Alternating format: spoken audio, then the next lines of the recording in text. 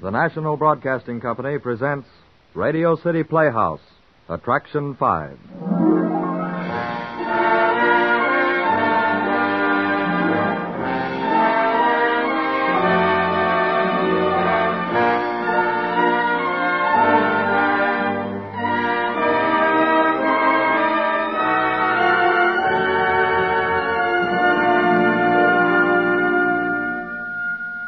Attraction 5, Special Delivery, starring Abby Lewis as Hilda, a woman tormented by doubt and jealousy.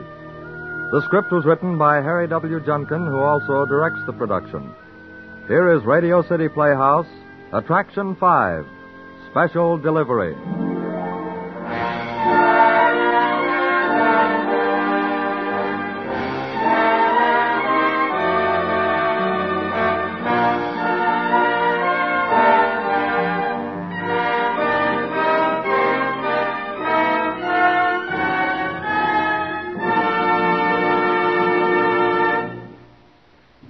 Don't believe in coincidence.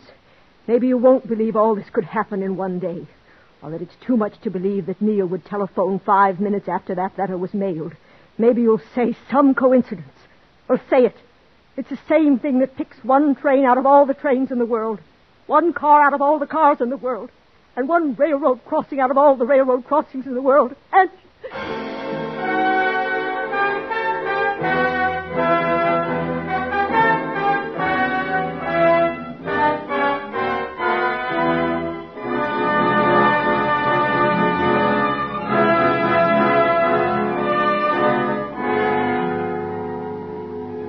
As she writes, her hand sticks to the paper. The noon heat is unmoving, solid, relentless.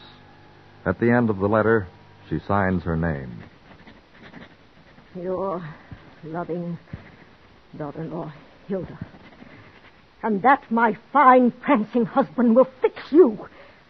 Ellen. Judge James T. Bradley. Ellen! Airmail special delivery. Ellen, for heaven's sake, what are you doing? Yes, Mrs. Bradley. I want you to mail this. It's airmail special delivery. You'll need a 13 and a 5. Here's a dollar.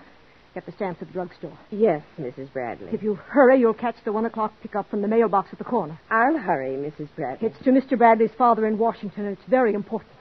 It's got to get there on time. Okay, Mrs. Bradley, I'll hurry. P R S U U.S. government. M N P Post Office. 8th Avenue and 31st Street. Pennsylvania 67099. P E 6 7 9 9.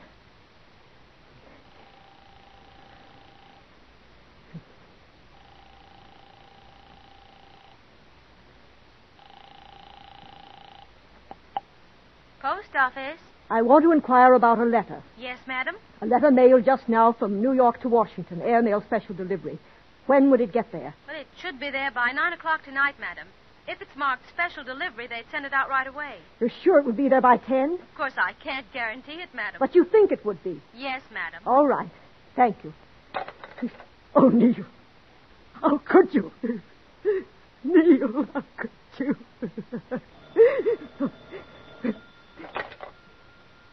Hello? Hilda? That you, Hilda? Yes, You sound peculiar. I'm all right. Is it still convenient for me to drop in tonight? I was expecting you. Ellen has the rest of your things packed. They'll be ready. I'd like to see you, Hilda. What do you want? A fond farewell? Hilda, I've got the evening all planned. We can toast each other in nitric acid. I wish you'd listen to reason. Reason. You, you, you, you son! You... Hilda, we can't talk on the phone. You're so mixed up with love and hate, you don't know what to think. I don't want to leave you. I love you. I've told you that a thousand times. I've said it so often that You almost believe it. deep down you believe it. Don't you? Oh, Neil, I don't know. One minute I could claw you apart, and the next I could. Hilda, It won't hurt you to talk to me. Will it? It, it always has. I love you, darling. You can't just throw me out like this. There's nothing with Sharon. There's never been anything with Sharon. If only we could. It's If true, only I dear. could believe it. It's true, dear. Honestly true. I, I just can't believe this is happening to us. You can't mean it. Please see me. Just once more. Please. Hilda, Neil. Neil, do you really think we could get. I'm sure we could. Hilda, darling, I love you. If you could only trust me. But you're so. Oh, I know. I know. Say it. I'm eaten with jealousy. It's true, Hilda. Oh, Neil, I'd give anything if we could. I try not to be jealous. You don't know what it's like. One minute I want to. I know. I know. Don't let's talk on the phone, dear. I'll be up tonight. Just remember, no matter what else you think, I love you. Want to come for dinner. Oh, Hilda, you'll never be sorry. If we can get back together again, you'll never be sorry, I promise. Maybe we can. Maybe. I want to terribly. I can't talk anymore. Come about eight. All right, Hilda. Goodbye. Goodbye. Why is it that one moment I love him to death, and the next moment I want to kill him? I. Oh, the letter. Ellen, never mind that letter. Ellen. Ellen.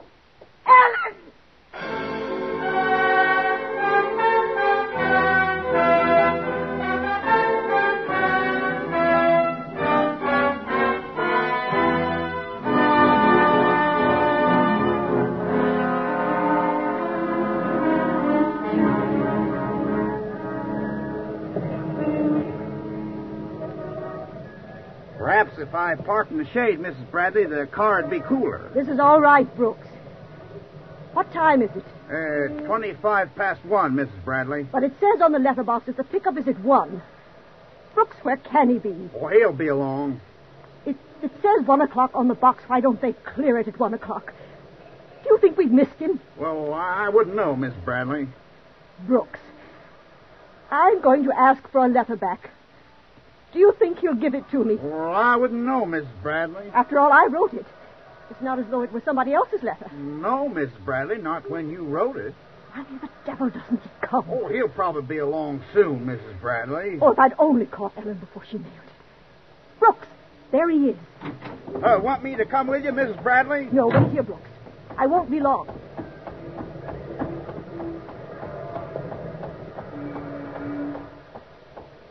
Uh, postman, Yeah, lady, what is it? are you going to open that letter box? Oh, that's what I get paid for, lady. How much? What? How much do you get paid? What are you talking about? How much money do you make? I don't see as how that's any of your business, lady. I'm sorry, I didn't mean Ah, to be rude, that's but you see, okay, lady. you see, I mailed. I mean, I made mail. I mean, I mailed a letter. Uh, you better get that straight, lady. Yes, yes, I mailed a letter. I wrote it too, just a little over an hour ago. It's in this box. I must get it back. What? I must get it back. I can prove I wrote it. I brought a sample of my handwriting so that you'd know that I wrote it. Uh-huh. It's addressed to Judge Bradley in Washington. It's airmail special delivery, and it's terribly important that I get it back. Oh. I forgot to put something in it that I should have, and it's terribly Oh, important. now slow I... down, lady. You're not making sense. What? What did you put in the letter, lady? Listen to me, please. It's terribly urgent. I'm that I- listening, all right, but you're not making sense. What do you mean? I mean, there isn't a chance of you getting a letter that's been dropped in this box. But why? I wrote it. It's mine. Mine. I shouldn't have written it. It's a terribly bad, wicked letter that I Oh, shouldn't have... now it's wicked, huh? What? First you say you left something out, and now it's wicked. What is in the letter, lady? Listen. I'll give you $500 for that letter. Uh, you will. Yes. Yes, right now. I've got it here. The money right in my purse. Keep it there. What? That cop. No, no, across the street. He's watching us. It's broad daylight. Now, don't start waving $100 bills. It'll be right under a cop's nose. $500 for my letter. Must be some letter. Will you give it to me? That's your car over there? Big one with the chauffeur? What of it? Make it a thousand. I can't. I, I can't possibly give you a $1,000. I haven't got it. Get it then. I can't. Okay, lady. But I can't. I can't get a $1,000 without my husband wanting to know what for. Tell him then. Uh, this letter. You having a little fun on the side? Oh, you. All right, have it your way, lady. Here, $500 right now. Take it. Take it and give You me. flash that door again, and so help me, I'll lace you one. That cop's coming over. Now shut up, can't you? Give it to me. Give it to me. Shut up, that cop's coming over. I'll follow you in my car. Beat it, beat it. I'll follow you. All right, but beat it. Find a place that's quiet. I'll follow you.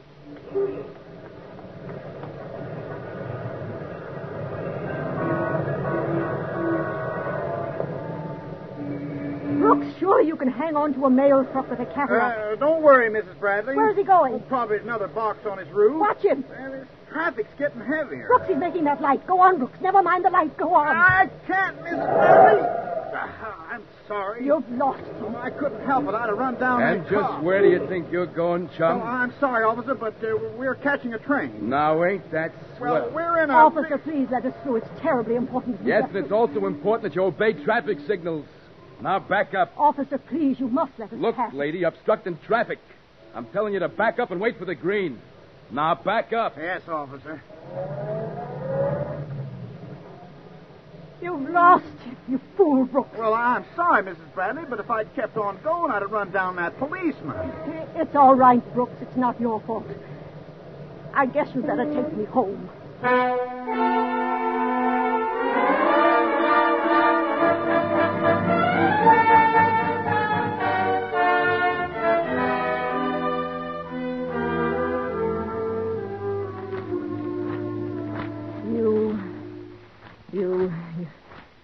U.S. government.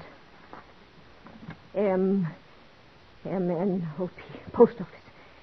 Pennsylvania 67099.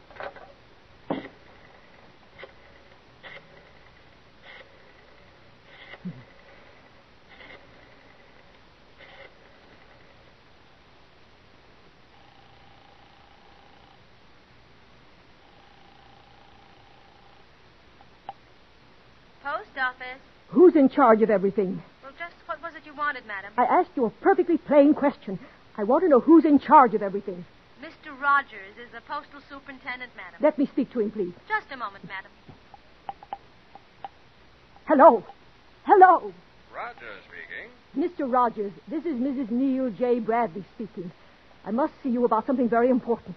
If I came right down to your office, could you see me? Just what was it you wanted, Mrs. Bradley? I can't possibly tell you about it over the telephone. I must see you, Mr. Rogers. Please let me come down. Well, if it's that important, why, certainly. 8th Avenue and 31st Street. Thank you, Mr. Rogers. I'll be down in 20 minutes.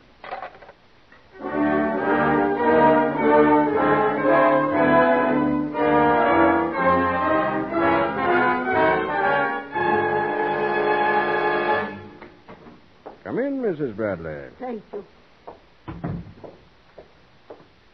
Sit down, won't you? Thank you.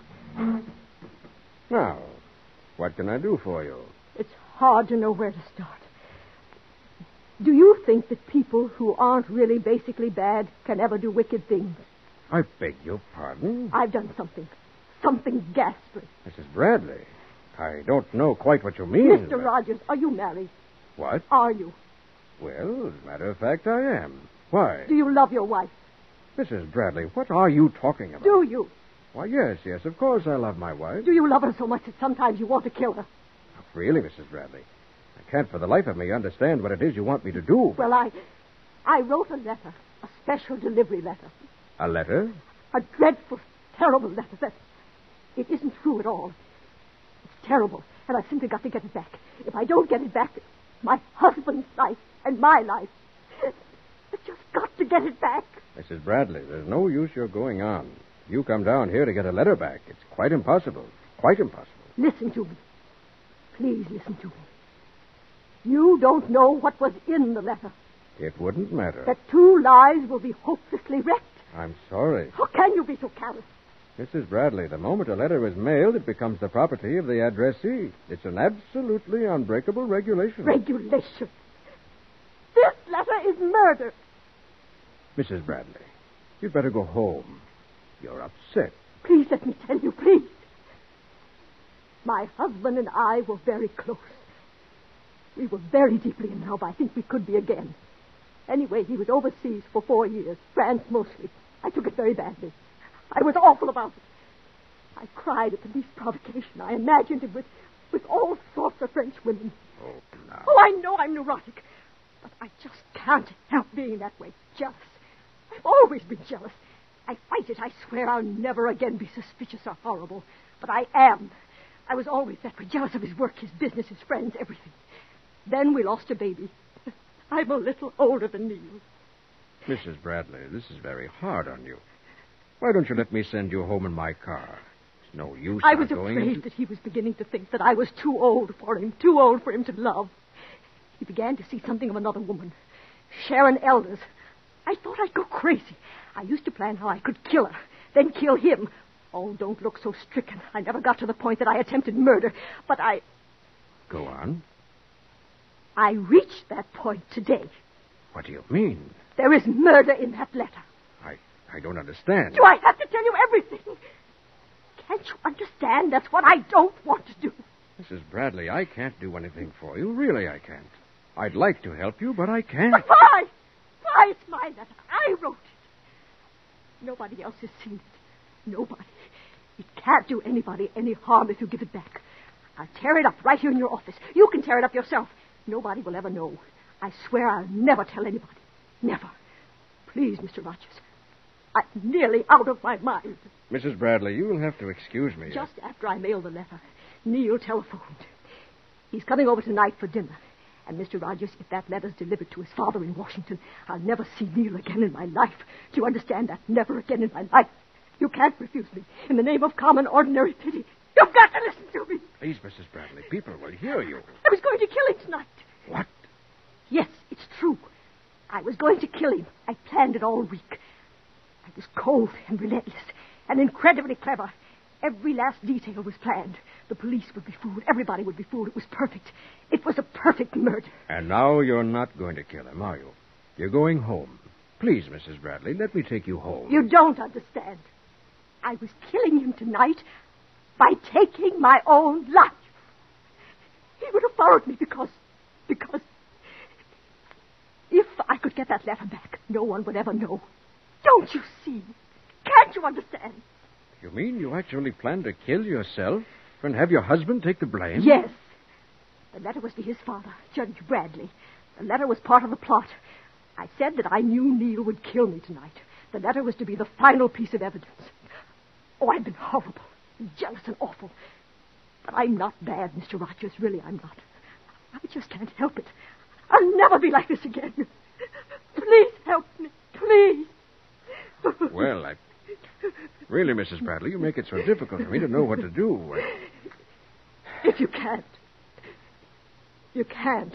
That's all. Wait a minute.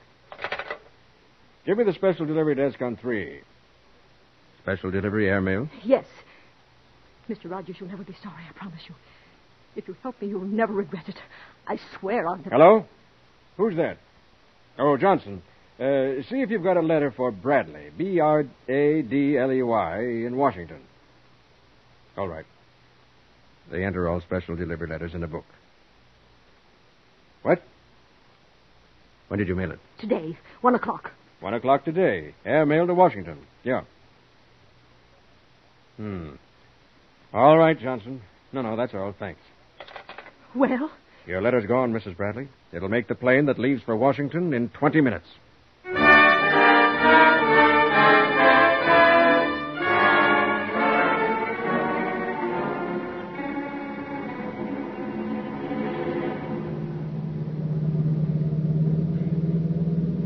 Faster, Brooks. We've only ten more minutes. Well, we're doing 70, Mrs. Bradley. Then do 90. Do a 100. Please, God, help me.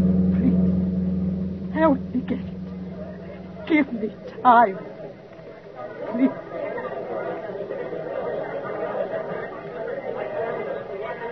Passengers for Flight 7 to Washington. Flight 7 to Washington. Now loading through gate number 2. All aboard, please.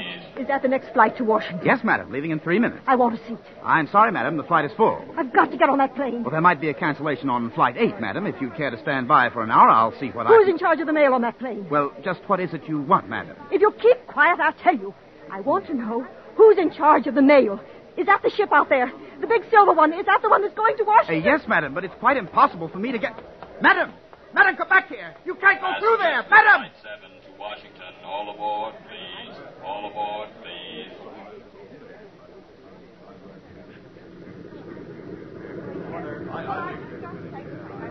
Mister, you. I've got to get on this plane. Would you sell me your seat for $500? I beg your pardon. I, I don't think I understand. You! Miss, I'll give you $500 for your seat on this flight. I'm awfully sorry, but I have to be in Washington myself tonight. Excuse me. Let me by, please. I beg your pardon. Let me by. Your name, sir? Uh, T.L. Haley. Seat 16, Stewardess. I don't have a seat, but I must get on this plane because I've written a letter that's being carried on it. And I have to get to Washington when the letter gets there, so that perhaps I can stop it from being delivered to my father-in-law. I should have... Madam, have you a reservation on this flight? No, no, no! I keep telling you that. But you'll have to put somebody else off. I must be on this plane. I must. I must. But, madam, if you haven't a ticket, But I'll buy a ticket. I don't want to ride for nothing. But There aren't any tickets left. Will you see the ticket agent in the airport, please? No, no, no! It's this flight I want. I must be in Washington before a letter that I wrote that's on this plane. A very silly letter. Would you mind stepping aside, madam, please? You're preventing the passengers from boarding. Your name, sir? Brand. T.J. Seat four, Mr. Bragg. Stewardess, a letter I wrote is on this plane, and I simply must. Your get on. name, madam? Cook, Miss E.J. Seat uh, 11, Miss Kirk. Stewardess, I must get to Washington before that letter does. I may be able to explain to my Uh, father-in-law. John why I- L. Frank. Seat six, thank you. Stewardess, for heaven's sake, listen to me. I've written a very silly letter that I shouldn't have written. If I don't get it, my husband. Your name, madam? Mrs. George McDonald. Please, stewardess, One, two, can't you three, help me? four, five, I don't mean to bother eight, you, but it's ten, so eleven, urgent that I get on this plane. If you'd only let me explain it. Stewardess, for heaven's sake, listen to me. It's a matter of... Will you listen to me? Madam, I'm sorry. I don't doubt that your trip is urgent, but you haven't a seat, and I. I'll stand up. I don't need a seat. Only let Madam, we're ready to take off. You must leave the ship. Please, please let me stay. I'll give you $500 if you let me stay. Please, stewardess. Madam, if you won't get off, I'll have to have you put off. Well, I won't. I won't get off. I won't. I won't. Mr. Hill, Mr. Hill, will you help me, please? I can't do anything with this woman. She won't get off the ship. Oh, all right. I'll get off.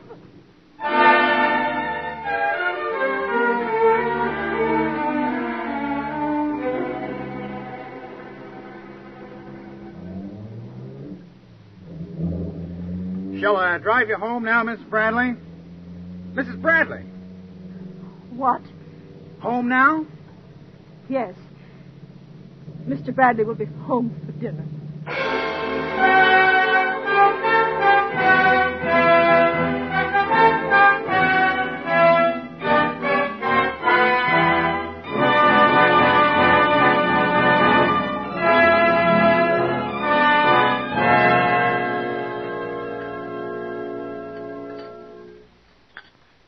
Some coffee, Neil.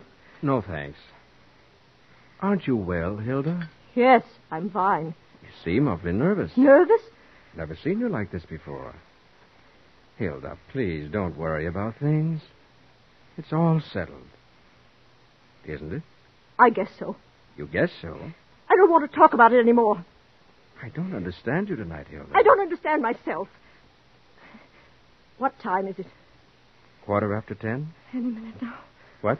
Nothing. What do you mean, any minute now? Nothing. You must have meant something. It doesn't matter. Hilda, please, don't brood any more. I thought I'd come up here and that we'd just settled it all. I even told the hotel I'd be checking out tonight. I, I thought maybe I'd come back here tonight, Hilda. Thought you'd want me to. I do want you to. I do. Neil, go for your bags now. Go right now, will you? Please, it'll only take you an hour. Hilda, what is bothering you? You're shaking like a leaf. I, I can't stand anymore. Hilda, what is it? You've been acting so strangely all evening. Please, don't cry, Hilda. Tell me what it is. I can help. Darling, it kills me to see you like this. There's nothing to cry about now. Everything's going to be all right. Stop. Leave me alone. Don't touch me. Hilda, You might as well go. There's no use your staying any longer. darling, I've never seen you so upset. Here, drink this. Please, Hilda, have some coffee, please. I don't want any coffee. Please, here, drink it. It, it's cold. It'll do you good. If I dropped that cup, you'd have murdered me. Don't. What? Don't answer it. Hilda, Don't answer it, I tell you. you can't answer it in that condition. Leave it. Leave it. Let it ring. Hilda, don't be silly. Oh, Hello? Yes, this is Regent 49970. Thank you. Washington. Must be Dad. no. Please, come. Hello, Dad? No. It's Neil. Well, I didn't expect to be here either. But Hilda and I have everything patched up. Well, I'm glad, too. Dear God, help me. You what? A letter from Hilda? No. No. Tonight? What? Well, uh, you better talk to Hilda about it. Here, talk to Dad. No. No, I don't want to talk to him. Do you hear? Control yourself, Hilda. It's something about a letter you wrote. I know. I know. I don't want to talk to him. Uh, just a minute, Dad. Hilda, will you control yourself? Did you write him a special delivery letter? Yes. Yes. Well, he's lost it or something. What? Talk to him. For goodness sake, stop crying. Tell me. He'll tell you. Tell me. The postman brought him a letter in your handwriting. Special delivery. He took it out, laid it down on the terrace railing while he fumbled for his glasses, and it blew off. Gone. By the time he got down eight flights to the street, it had blown into Kingdom Come or something. Here, talk to him. What? What did you say? Give me that phone. Hello? Yes. What? Yes. Well, it was nothing, Dad. Really, I. I it felt so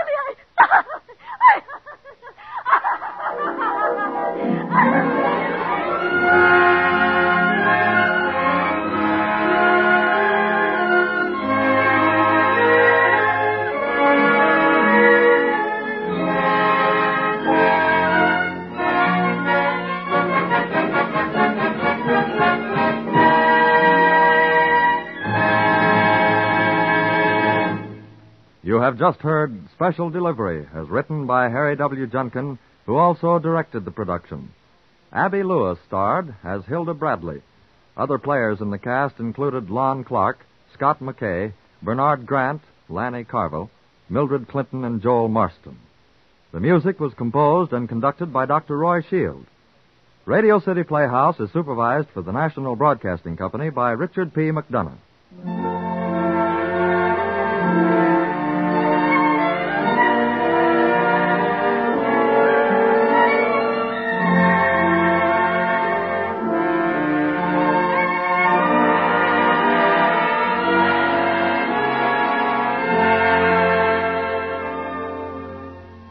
Next week, Hit and Run, written by Max Schub. It is the story of a man who made a mistake and made amends in the only way he knew how. In the demanding role of Hal Lawrence will be heard the young American actor Casey Allen, whose brilliant performance some weeks ago on Radio City Playhouse merited a return appearance. We sincerely hope you'll join us next Saturday for Hit and Run, Attraction 6, Radio City Playhouse.